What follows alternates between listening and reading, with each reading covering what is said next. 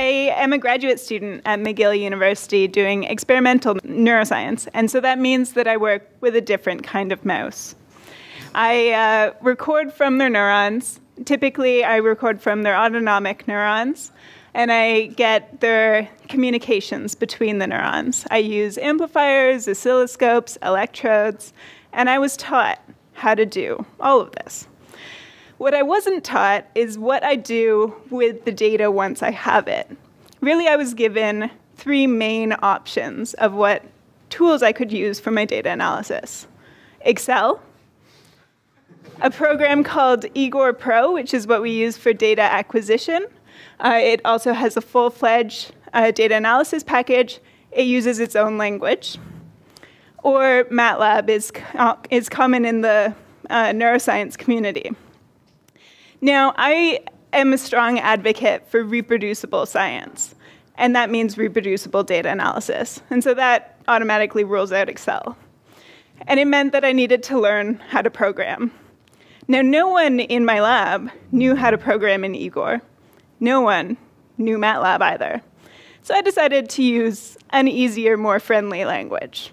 I wrote my data analysis in Python, I mostly use the scientific Python libraries, NumPy, SciPy, a little bit of machine learning with uh, scikit-learn. But importantly, um, I found this package, Igor Pact. Someone had the same problem as me, where they had their data uh, from an Igor file that they needed to extract into a form that Python could use. And it was really only because that was available that I was able to do my data analysis in Python.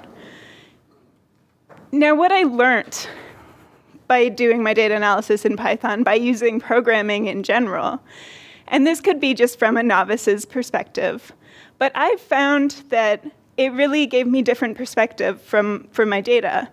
Neuroscience data is implicitly noisy, but using Python and using programming allowed me to put constraints on some of that noise and understand my data a little bit better. I think that the same is true the other way.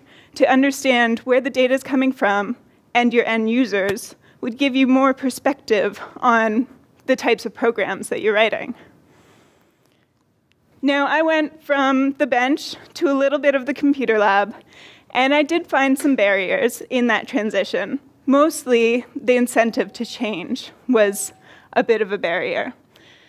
But I found in the Python community, there's really so many groups that helped me overcome some of the barriers. The Montreal Python Meetup group and PyCon that was here in Montreal, Stack Overflow to ask and answer questions, codes available on GitHub. Software Carpentry has uh, specific boot camps um, geared towards scientists. And there's some really good MOOCs on edX that really give non-programmers some of the basics of programming. So that's it. If you want to get in touch with me at all, uh, there's my information.